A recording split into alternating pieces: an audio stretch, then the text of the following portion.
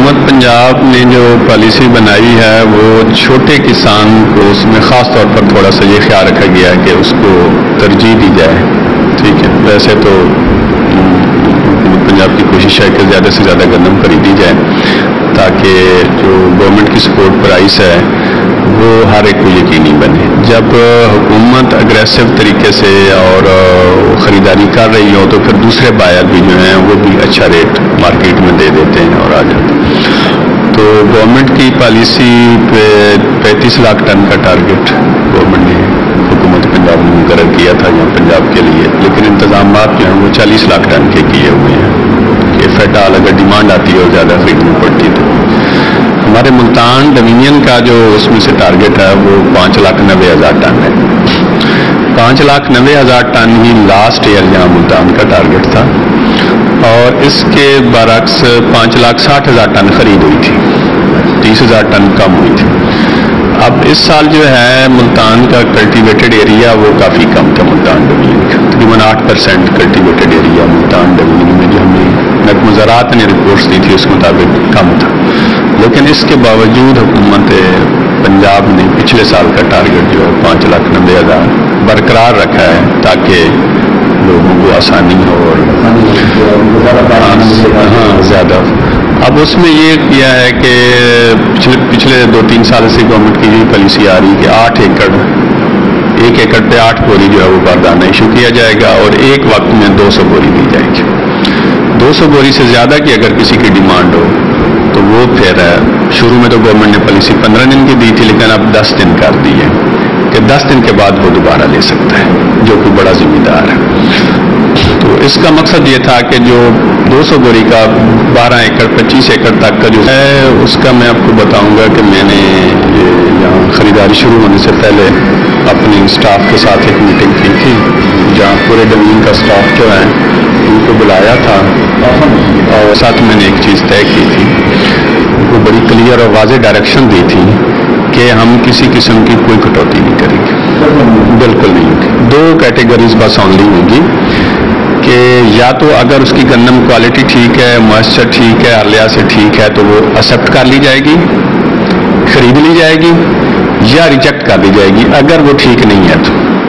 اگر ریجیکٹ کریں گے تو وہ موقع پہ دیکھی جا سکتی ہے کہ جی یہ واقعی خراب ہے۔ ٹھیک ہے۔ یہ کہنا کہ جی یہ کوالٹی تو خراب ہے، لیکن آپ کی میں دو بوری یا تین بوریاں کاٹتا ہوں، آپ سو کی بجائے میں آپ کو اٹھانوے کا بل دیتا ہوں، میں آپ کو ستانوے کا بل دیتا ہوں، یہ قابل برداشت ہاں وہ کٹوتی نہیں ہوگی۔ اس سلسلے میں اب کل ہمیں ایک کمپلینٹ ملی تھی کٹوتی کی بہاڑی ڈسٹرکٹ میں۔ تو اس آدمی کو ہم نے سسپینڈ کر دیا دیکھو، جو کوالٹی کی میں آپ کو بتاتا ہوں کوالٹی گندم جو ہے نا، اس کا گورنمنٹ کا اتنا ٹائٹ نہیں ہے۔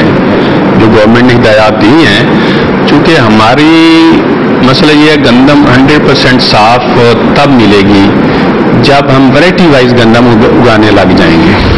ابھی ہم ورائٹی وائز گندم نہیں اگاتے، اس میں جڑی بوٹیاں آ جاتی ہیں، ہر قسم کے مسائل آتے ہیں۔ اس لیے گورنمنٹ نے جو معیار رکھا ہوا ہے گورنمنٹ نے معیار fair average quality fair average quality آپ ناموں سے بھی آپ کو واضح ہو رہا ہے کہ ایوریج کوالٹی مطلب کوئی بیسٹ کوالٹی گورنمنٹ نہیں مانگتی۔ چونکہ اگر وہ بیسٹ کوالٹی مانگنے لگ جائے تو پھر بہت سارے لوگ بیچارے جو ہیں وہ نہیں دے سکیں گے۔ ٹھیک ہے۔ ہماری دیہات میں بڑا واضح ہے کہ ایکسپورٹ کوالٹی ڈیمانڈ کرنے والا یا چھوٹے دانے کی بنیاد پہ گندم ریجیکٹ نہیں کی جا سکے گی۔ ٹھیک ہے۔ نا تو اس میں کافی مطلب کنسیشنس ہیں۔ کوالٹی میں جنرلی جنرلی کوالٹی کی بیس پہ میں نہیں سمجھتا کہ کوئی بڑی لاٹیں جو ہیں وہ ریجیکٹ ہو سکتی ہیں۔ صرف اگر کوئی آدمی تھوڑی سی احتیاط نہیں کرتا اور نیچے سے اس کی کوئی سویپنگ کے بیگز آ جاتے ہیں بعض اوقات، وہ تھوڑی سی کاشتکار بھائیوں کو یہ گزارش کروں گا کہ وہ جب بھرائی کرنے لگتے ہیں تو یہ احتیاط کریں کہ نیچے کی جو بوریاں ہوتی ہیں، جو نیچے کی گندم ہوتی ہے، اس کو برائی کرتے وقت ایک دفعہ دوبارہ چھنوا لیں تاکہ اس میں کوئی مٹی، روڑی اور وہ چیز نہ آئے زیادہ۔ ورنہ جنرلی ہمارا جو کسان گندم پیدا کر رہا ہے، وہ تقریباً ایکسیپٹیبل کی گورنمنٹ کی ایکسیپٹیبل کی لمٹ میں آتی ہے۔ گورنمنٹ اتنا کڑا معیار نہیں رکھا اس کام کے لیے۔ اس اس بات کو میں نظر رکھتے ہوئے میں نے یہ انسٹرکشن دی تھی کہ کوئی کٹوتی نہیں کرنی۔ کیونکہ مجھے پتا ہے کہ یہ کمپلینٹس ایکچوئل کمپلینٹس بہت کم ہوں گی کہ کوالٹی خراب ہو، ویسے فرضی بنا لی جائیں وہ اور کہ موائسچر جو ہے وہ دس پرسینٹ سے زیادہ نہیں ہونی چاہیے۔ اور یہ پالیسی پچھلے دو تین سال سے آ رہی ہے۔ اس کو جو بھی ہمارے ریزنیبل معقول گروورز ہیں، انہوں نے بھی اس کو تسلیم کیا ہے۔ کیونکہ موائسچر جو ہے، یہ اگر زیادہ ہو تو یہ سٹوریج میں اس کو انفیسٹڈ جلدی ہو جاتے ہیں سٹاک کیڑا جلدی لگ جاتا ہے اور وہ نہ صرف کہ جتنی ہم انفیسٹڈ خریدتے ہیں زیادہ موائسچر والی گندم جتنی سٹور اس کو نقصان پہنچاتی، بلکہ باقی گندم کو بھی نقصان پہنچاتی۔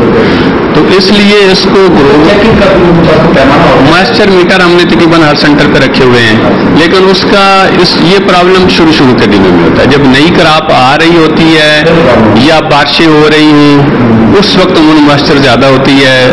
پہلے ہفتہ دس دن کے بعد جب گرمی صحیح پڑنے لگ جائے، تو پھر ماسٹر زیادہ ہونے کا چانس انتہائی لیس ہو جاتا ہے ان لیس کہ وہ کسی وجہ سے وہ گیلی ہوگی یا جب وہ اور بات ہے۔ ٹھیک ہے؟ تو اس لیے سچ ماسٹر کی بھی کوئی زیادہ کمپلینٹس پچھلے سالوں میں نہیں آئی اور گروور بھی اس کو ایکسیپٹ کرتا ہے کہ جی آپ اگر ہم زیادہ نمی والی گندم لیں گے فورٹی سیون سینتالیس سینٹر سینٹر ہیں، ملتان ڈویژن میں جو ہم نے بنائے ہیں۔ لاسٹ ایئر بھی اتنے ہی بنائے تھے اس سال۔ گورنمنٹ کی یہ پالیسی تھی کہ سینٹر جو پچھلے سال ہیں ان کو مینٹین رکھیں تاکہ لوگوں کو وہاں پتہ ہے وہ جاتے ہیں۔ سر، کسانوں کو صرف یہی پیغام دینا چاہتا ہوں کہ وہ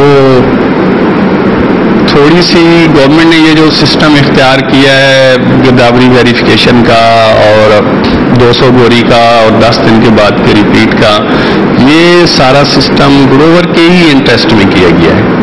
کہ تاکہ آڑتی جو ہے یا وپاری جو ہے وہ انٹر نہ ہو سکے سسٹم میں۔ لیکن اس سسٹم کی وجہ سے تھوڑا سا ذمہ دار کو کاشتکار بھائی کو انتظار بھی کرنا پڑ سکتا ٹھیک ہے؟ تو وہ گھبرائے نہیں، پینکی نہیں ہو۔ ہماری یہ خواہش ہے کہ وہ ڈائریکٹ ہمارے سینٹروں پہ آ کے خود ہمیں گنا فروخت کرے، بجائے وپاری آڑتی کو فروخت کرنے کے۔ اس سلسلے میں اگر ذمہ دار بھائی ہماری مدد کریں گے اور ہمارا باردانہ لے کر آگے کسی وپاری آرتی کو نہیں دیں گے۔